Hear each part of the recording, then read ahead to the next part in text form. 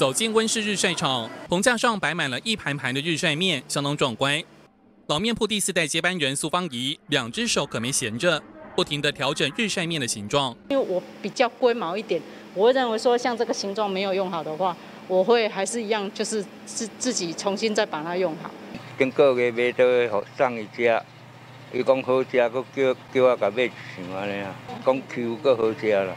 曾在日商株式会社工作的苏奇耀，接手日晒面家业后，夫妻俩坚持以最天然的日晒方式来制作面条。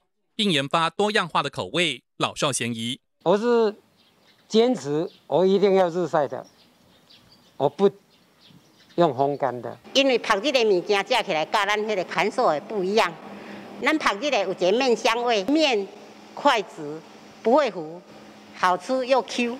现场工作人员身手利落的操作机器揉面、压延成面团，再将切好的一组一组面条抓起，盘放在竹编的大盘子上。经过两天的日晒，才能制成香 Q 好吃的日晒面。而要延长保存期限，可是有秘诀的。拢嘛是爱手工啊，爱人做，唔是讲直接机械落吼，就会当出来。